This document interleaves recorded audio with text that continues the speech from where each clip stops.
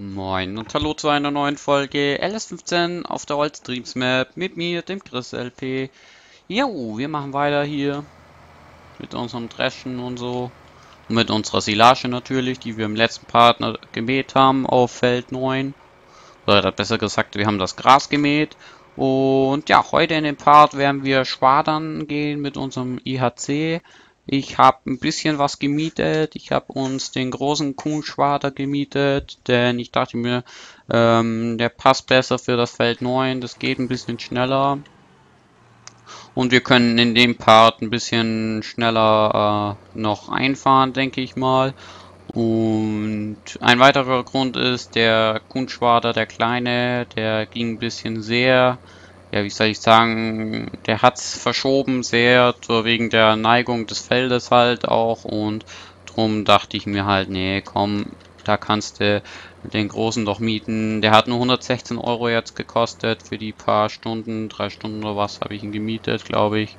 Und ja, drum dachte ich mir, komm, dann tun schwadern wir mit dem großen und fertig. Unser IHC sollte den ja verpacken und ja. Ähm, ja, das ist die zweite Aufnahme. Ich hoffe, dass das jetzt funktionieren wird. In der ersten Aufnahme habe ich es mit dem kleinen Kuhnschwader probiert. Äh, ja, es hat nicht so funktioniert, wie es sollte.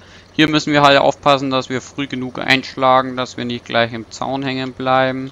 Auf geraden Strecken geht das ganz gut. Äh, bei Kurven sollten wir relativ frühzeitig einschlagen, wie hier jetzt auch weil sonst haben wir echt das Problem mit Zaun hängen bleiben und so. Ich bin auch mit einem kleinen Schwader im, im Zaun hängen geblieben. Hier ist es jetzt auch recht knapp gewesen, aber es hat noch relativ gut funktioniert. Und ja, dann können wir flitzen hier runter den Berg mit 19 km/h. ich muss sagen, ein größerer, ein größerer, äh, ein anderer Schlepper hätte, glaube ich, den Schwader auch nicht verzogen. Den anderen äh, Schwader verzieht auch nur noch unser Lizard, also das ist glaube ich der einzig st starke Schlepper noch, wo den auch verzieht. So, wir fahren hier ein bisschen anders. Ist ein bisschen doof das Eck hier gemacht, äh, mit dem Schwadern kommt man da nicht so gut rein. Muss halt echt frühzeitig ein bisschen einschlagen, dann klappt das eigentlich ganz gut. So, die erste Runde haben wir geschafft. Dann hätte ich gesagt, fahren wir äh, Bahnen irgendwie, wenn das möglich ist. Was halt noch richtig geil wäre an Schwadern, wenn das noch käme ein LS15. Es gab im LS13 ja diesen Glas-Schwader, diesen großen Vierer Glas-Schwader, Glaslina 4000 oder was das war. Man konnte halt damit JK, MN, konnte man halt einzeln die äh, Schwader, die Schwaderflügel senken, sage ich jetzt mal oder die Kreisel, Schwartkreisel senken konnte man da einzeln mit J oder K oder M und N, egal welche man halt haben wollte. Und das wäre halt hier für die Schwade auch richtig gut, weil dann kann man auch ein bisschen die Spitze, wenn man spitz, äh, ein spitzes Feld hat, kann man das besser schwadern. Und ja, das fällt auch hier auf, also man muss halt frühzeitig aufheben, wenn man vier Kreiselschwader haben, dann wären die Schlauen nicht so schön, sage ich mal. Und deswegen macht es da eigentlich so ein kleinerer, kleines kleine Funktion eigentlich viel besser. Aber ja, könnte ich modden und so, würde ich es echt machen für mich, so, so einen kleinen Mod oder würde den umschreiben noch. Würde da einen kleinen äh, anderen Schwader bisschen machen und... Aber ja gut, ich kann nicht schwadern, darum bin ich eigentlich froh, dass das andere können, muss ich echt sagen. So, wir drehen uns hier mal ein bisschen. Das Feld haben wir ja gleich geschwadert. Dann können wir gleich noch mit dem Ladewagen, denke ich, hinfahren und einsammeln. Und unseren Drescher vielleicht noch abtanken. Das wird auch noch kommen, denke ich. Ich weiß nicht, ob der fährt. Zu dem müsste man mal kurz rüber gucken. Aha. Hier ist der Knabe. Ähm, wir haben das Problem mit... Ähm, wir haben das Problem hier mit ähm, ja, unseren Bäumen wieder würde ich sagen, fahren wir hier einmal rauf, dass das ein bisschen breiter ist.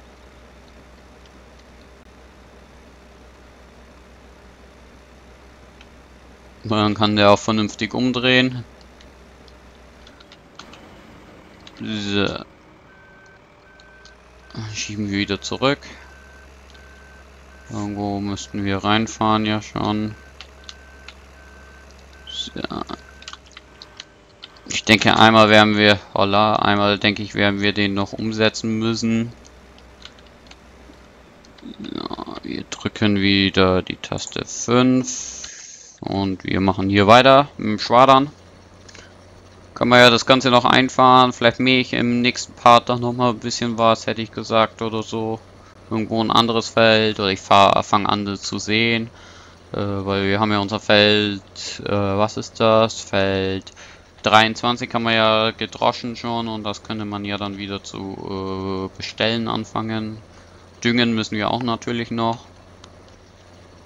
Ich hoffe, dass dann auch irgendwie eine Nachfrage im nächsten Part kommt für irgendwas. Dann können wir uns vielleicht ein bisschen Kühe kaufen oder so, dass wir ein bisschen Kuhwirtschaft machen können. Bei den kleinen Maschinen soll es erstmal so bleiben, glaube ich. Vielleicht ein größerer Drescher irgendwann noch. Vielleicht irgendwann so ein Dominator noch oder ein Schlüter. Ein Schlüter hätte ich echt Lust zu, weil ähm, ein Schlüter ist eigentlich ein sehr gemächlicher Pate von Schlepper, sage ich mal. Aber er ist ein schöner Schlepper, muss ich sagen. Ein starker Schlepper vor allen Dingen. Also er hat einiges am PS natürlich. Viele kennen ihn natürlich ja auch. Und ja, er, er macht sich gut in Ackerbearbeitung, sage ich mal. Und deswegen muss ich echt sagen, kann man den äh, echt kaufen mal sich. Und so, würde ich sagen, fahren wir wieder Richtung Hof. Das Feld ist geschafft. Große Schlauen hat es gegeben. Ich bin jetzt echt gespannt, was unser Ladewagen sagt, ob der gleich voll ist oder wie das Ganze jetzt ablaufen wird. Da bin ich echt jetzt mal gespannt. Ja, holla die Hupp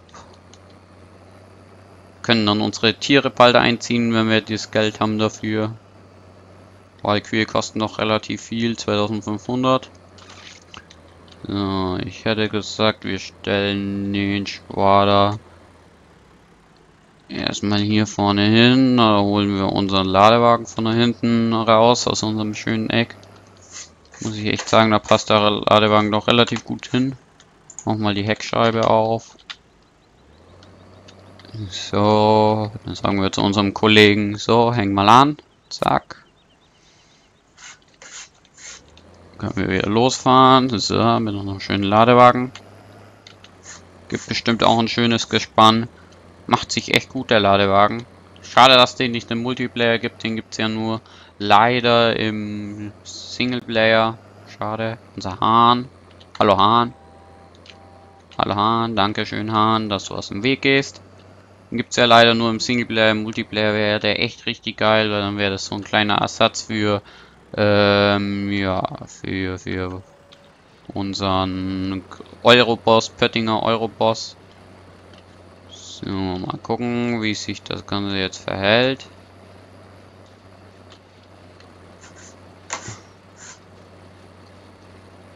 So.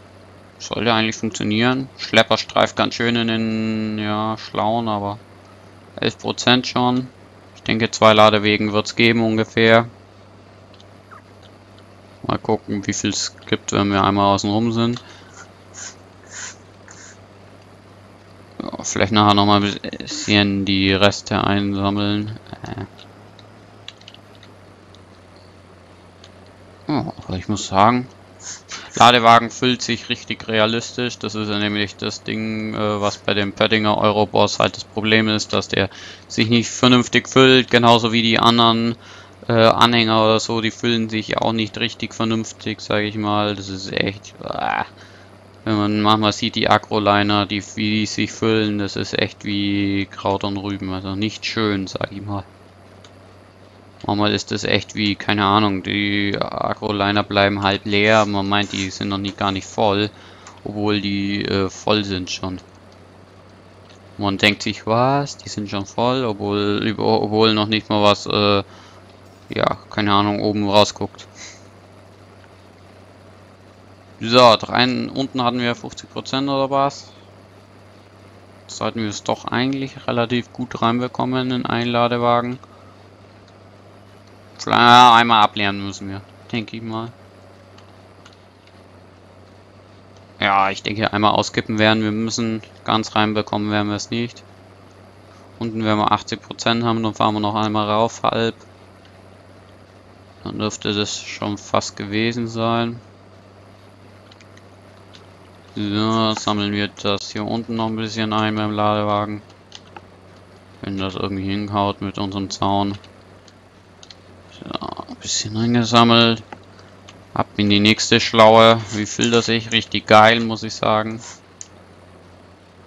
So, da mache ich jetzt noch ein Thumbnail. Ich führe jetzt hier äh, live in der Aufnahme fort, wie man ein Thumbnail macht, sage ich mal. Man sucht sich einen schönen Platz, man, ja, ja so wie jetzt gerade. Man drückt F10 vom Aufnahmeprogramm, dreht ihn noch so ein bisschen. Und drückt nochmal F10, ich glaube, das werde ich als Thumbnail benutzen. Und wir fahren weiter. Ich lasse jetzt das Rad mal aus. Und ich mache es wieder an.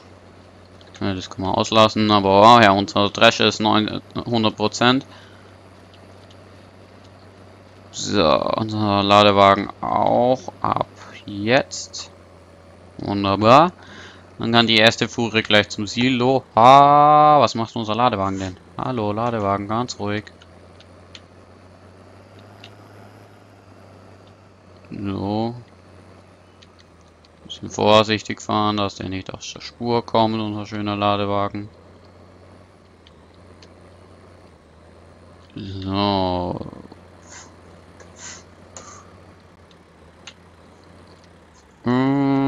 Wir können abkippen. Bisschen nach vorne durchfahren. So.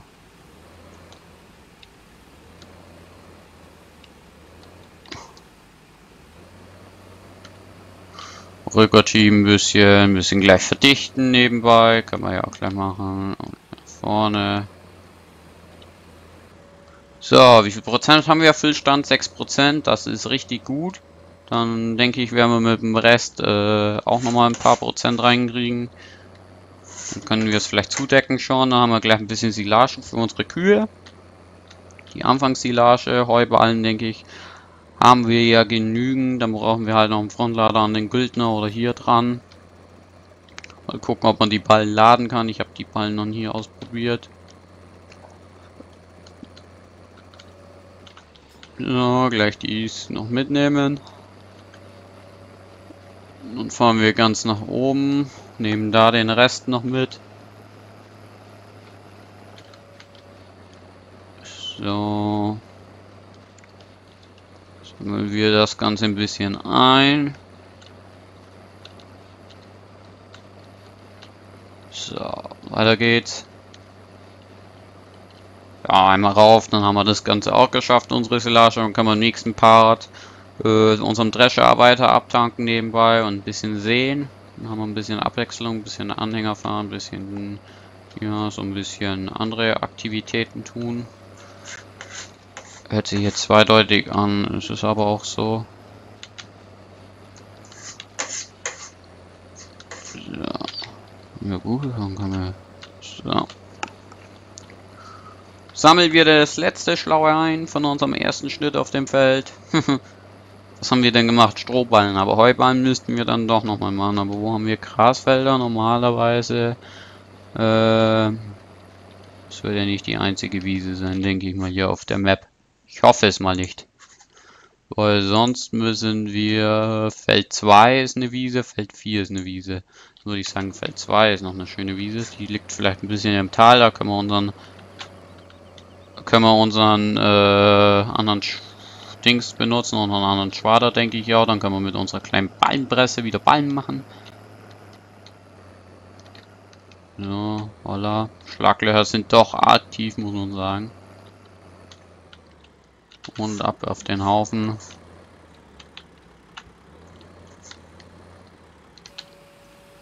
So, los geht's wieder.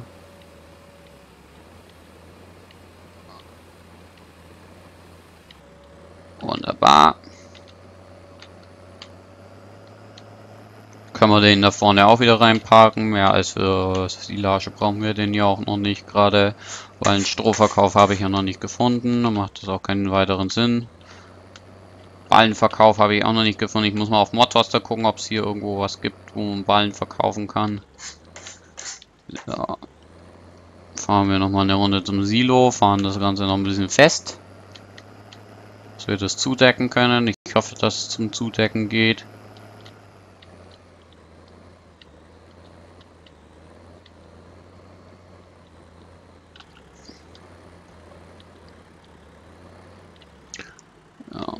Darüber.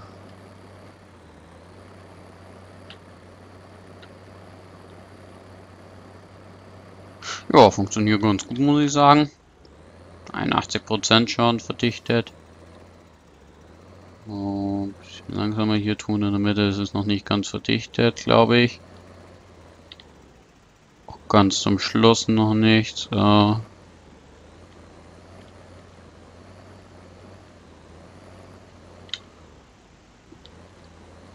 So, das mittendrin ist, glaube ich, das einzige, was fehlt noch. Und wieder zurück.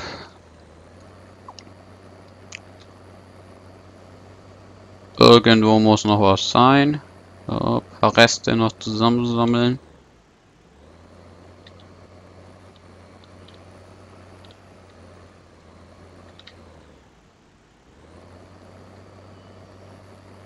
Ganz verdichten tut das nicht. Ich weiß nicht warum.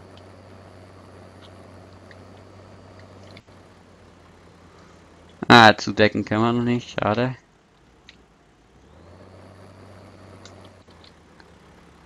Schade, dann muss ich doch im Offline noch ein bisschen was fahren.